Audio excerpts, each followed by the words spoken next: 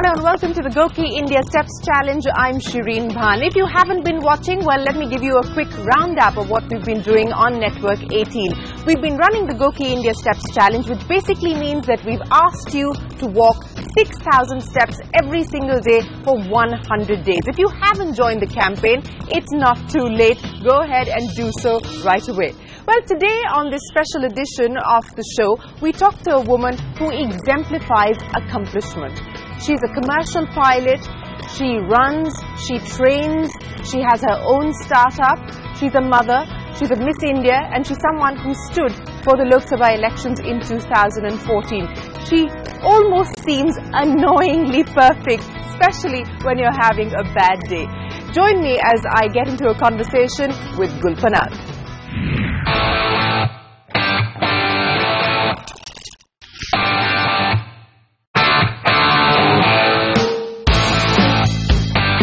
Fit as a fiddle might be a cliche, but Gul Panag truly embodies it.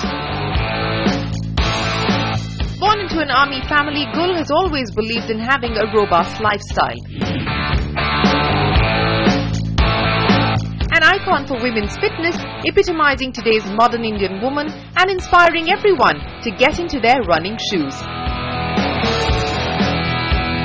Let's see what motivates Gul Panag to do so many different things and be truly free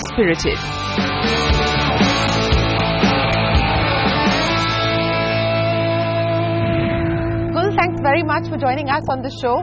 You know, in my introduction, I just said that there are days, especially when you're having a bad day, that you seem annoyingly perfect. okay? Like, there's every single accomplishment you can, like, check boxes off any checklist. How do you manage to get all of this packed into a day? I'm a planner and I, I make plans Hmm. and I constantly reevaluate them and uh, I remain really committed to my my my goals but I remain flexible in my approach. So my goals could be I need to do this, this, this, this. Every day is a is a day which is stacked with goals. Yeah. So a meeting is a goal because getting out of the house a little baby is a goal. Huh. So I, I plan my day really well. I remain quite committed. Uh, there are the four five things that I have to do today, but I'm fairly flexible. If something goes wrong, I leave adequate room for maneuver. But what is it that drives you today? Uh, you know, and as I pointed out, uh, you know, you fly. Uh, you have your own sort of business ventures. You've dabbled in uh, in a bunch of startups. You're now uh, a new mother. Um, you're uh, an avid biker. You do car and bike shows. I mean, how, you know, what is it that drives you today? Uh, and what is it that you you occupies? I mean, I can understand time management, but from you know something that occupies your bandwidth, what is what is that about today? I'm aware of some of my strengths and Yeah. I try and maximize my potential Mm. and I, I grab every opportunity that comes my way which fits into my potential chart Hmm. and I bridge that with a, with a plan. You actually have like Excel sheets No, and every it's- it's all a in my vision head. board or any of that? It's in your head. It's all in my head and to be honest it's all and all of this happens when I exercise. So in the time that I'm exercising or let's say I'm, I'm running, I will plan out my whole day. Hmm. I'll plan out what I'm going to wear uh, down to the de- detail of how I'll, you know, which bag I'll carry or something Yeah. like that. And then I, I, I run through the whole day with a, with a, like a, like a school timetable. Hmm. And I'm going to do this. And now I, have, a- I also have a degree of rigidity in my schedule because of my son. Yeah. I have to take him to the park at 9 a.m. and at 5.36 p.m. Hmm. So during that time, I have to fix lots of things. Hmm. I sort all of that out when I exercise. Hmm. And uh, was this something that you always did, or again, has this been something It's that you've come to embrace later in life? Acquired, uh, Shireen, um, we both come from armed forces backgrounds.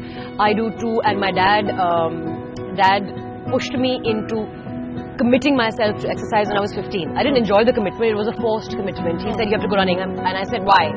Because you have to. It's good for you. And already at that stage, I had developed this fallacy that uh, only overweight people exercise. Yeah. And uh, I said, I'm not fat, I'm not overweight, why do I need to Uh. exercise? But he said, you've got to do it. But what he did, Shireen, was he ran with me. Hmm. So when I was 15, my father was 45. Yeah. which is not young. Yeah. Uh, but he would go running with me every Don't single day. that. I mean, I know. it is, yes, yes. Yes, because 40 is the new 30. I'm 40. So, um, you know, he'd go running with me. And there was no escape. Hmm. And for three years, he did that every single day because he was on an assignment in Zambia. Yeah. And he had a structured life from a nine, a nine to five uh, role he was playing. He was setting up staff college for uh, Zambia. And we, uh, every day he'd come back in the evening and there was no, no way out for going for that run. I used to hate it, but it just became like a habit. It's like you inculcate a little child into Yeah. brushing teeth. Yeah. They don't like it. Yeah. I know they don't like it because they throw the brush out. Huh. I'm experiencing that right now. Huh. But it becomes part of your life. And sooner or later you begin to see its benefits. And it's been part of my life for a, since I was 15, so that's 30, 25 years now. Huh. And I've always noticed that right after I exercise, hmm. I'm positive, I'm objective, I can take on the world, and I feel that there's nothing I can't do. Huh. That feeling lasts for about an hour, an hour and a half, and I structure and schedule all the most important things of my day during in that, time. period. Yeah.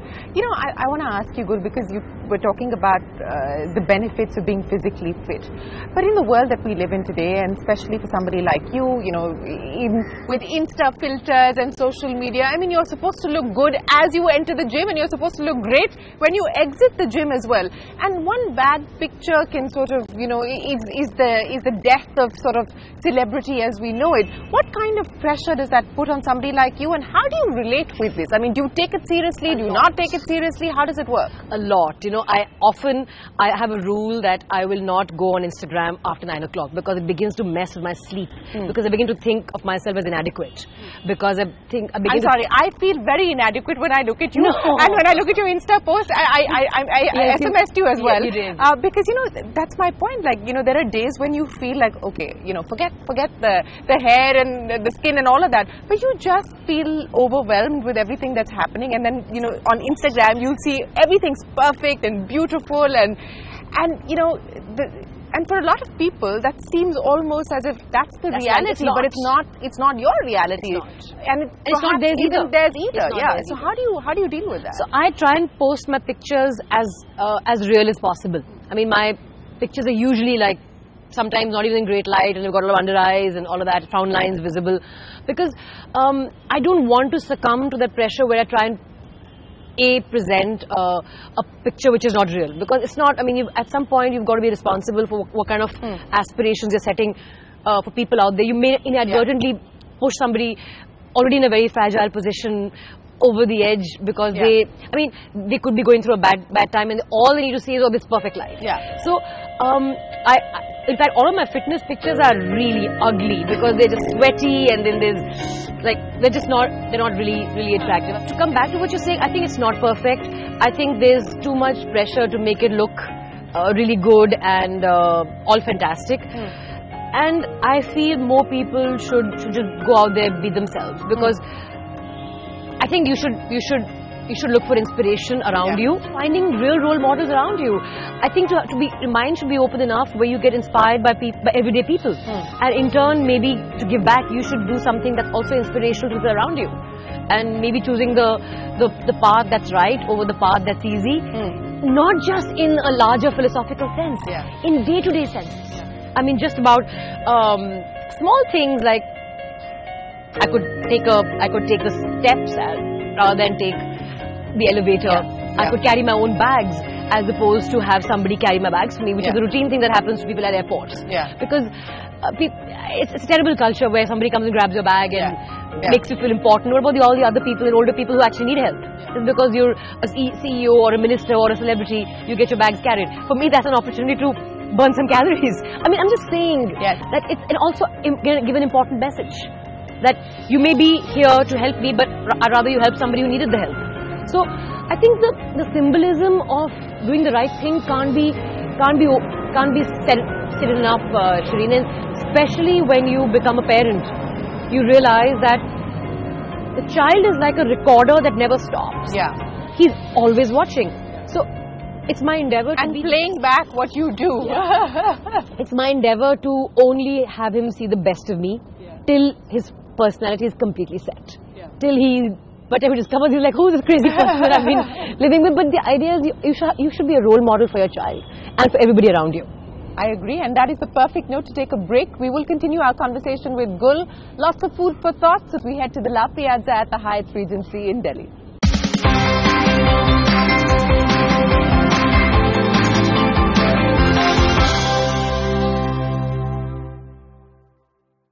Welcome back. You're watching our special. We're in conversation with Gul Panag here at the La Piazza in the Hyatt Regency.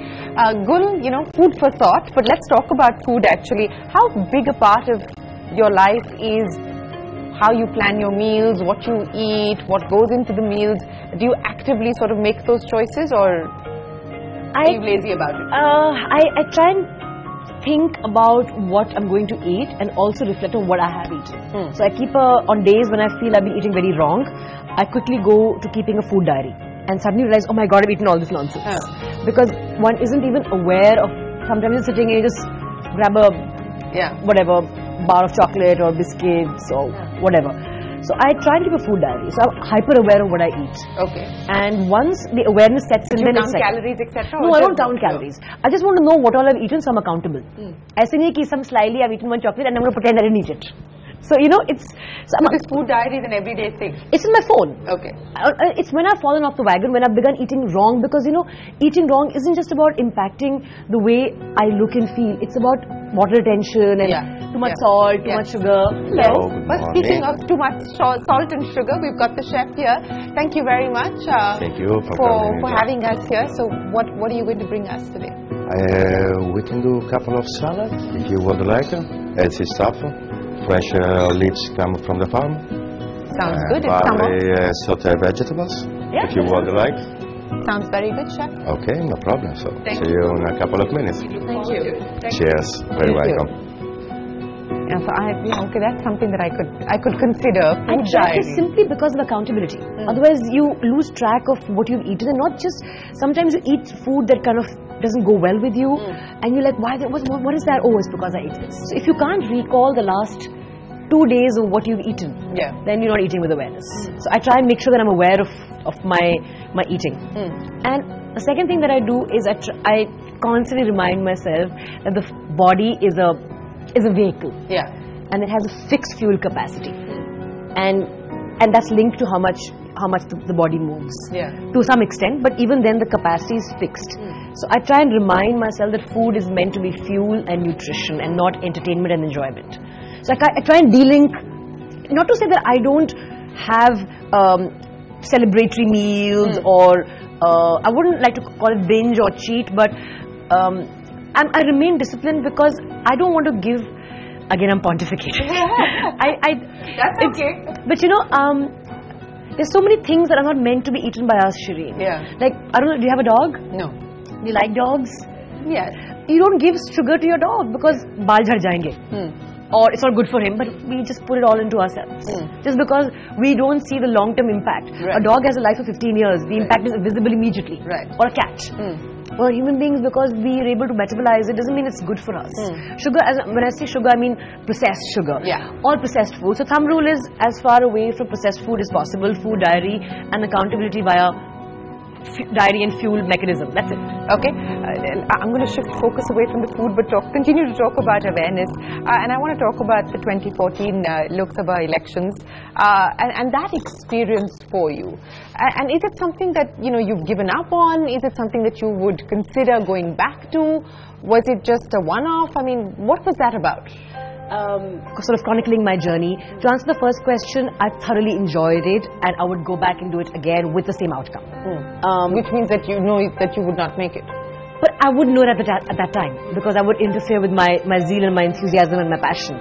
So, uh, but because in retrospect I can be objective and I can go back and say, this has been such an incredibly learning experience. For instance, you learn all the processes firsthand. So, I knew that. I mean, I figured all those things out firsthand. Uh, fundraising, my campaign was was 95% publicly funded. We raised adequate money, 54 lakhs was the UT limit. We raised close to that. We returned so much money because we couldn't spend beyond a point. Because we just ran an effective campaign, keeping You in couldn't mind. spend 54 lakhs. Uh, well, we finally ended up, I think we must have closed at 50 or 48 or something. Remember, even things that you're not spending on is getting attached to your election expense. So if you host a gathering for me of 50 people, the cost of tea, uh, whatever is there, is is getting added to my expense. Hello. Oh, thank you very much. So um, just brought this to you. That's we refunded some money. I didn't have the luxury. Of, thank you, chef. That's a family one. Thank you. And that's a family one. Thank you. Enjoy your meal. Thank you. Have a good time. Uh, we didn't have the luxury of doing big spending, but we were smart about it. I used um, we did a lot of door to door. We went to um, a lot of places on motorcycles, walked a lot. Uh, We, we averaged 15 kilometers a day as per my friend's uh, wearable. You know, I think I learned so much about the basics of how to run a campaign, and I also learned that you can run a clean campaign that's also effective, uh, while it's also positive What would make you want to do it again?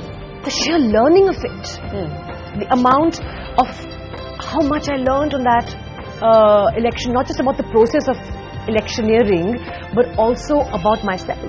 The fact that I just found a part of me that I didn't know existed. I found me in a in a manner that um, that I had not known for a long time because being a, a celebrity, you kind of have this mask on your face where you're expected to be prim and proper, uh, not just in terms of the way you look, but in your conduct as well at all times. Hmm. Over the over the first couple of days of the campaign, just because it was so exhausting to keep that mask on, Yeah. I just let it go, and it just I just became so much easier with myself. Hmm. Has that carried through? Yes, more or less. Hmm. Also, I'm older. that, all, That is true. That automatically happens when you're That- 40. that is no, true. No stress about what somebody thinks about you. Huh. That what somebody thinks about you is their Is- problem. Isn't it liberating? It though? is. Yeah. It is. It is. It is. Lots of things on, on the checklist that you still want to be able to accomplish and still want to be able to do. Give me the, the top three or the top five.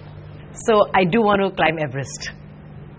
And my husband's like, you know, just give, let, let, let your son be a little Huh. older because um, the rate of uh, fatalities on the on, coming down from the summit are pretty high.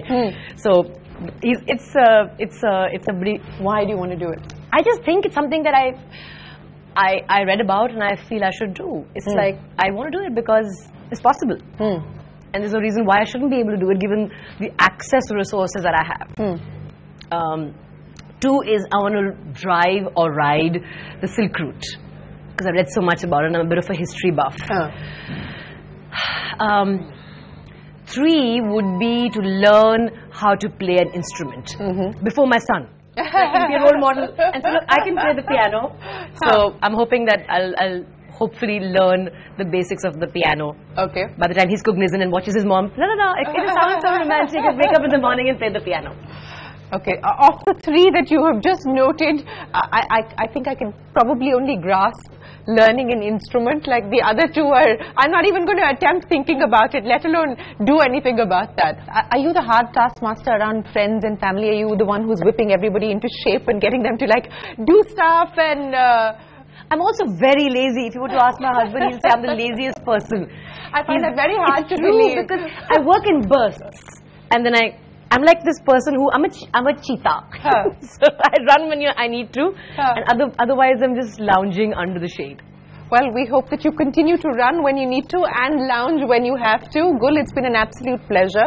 We wish you the very best of luck and, uh, you know, much more success. I hope that comes your way and I hope you get to accomplish everything that you have now set your mind to, including climbing the Everest. Thank you, Shri. It's been it's been lovely talking to you, and thank you for having me.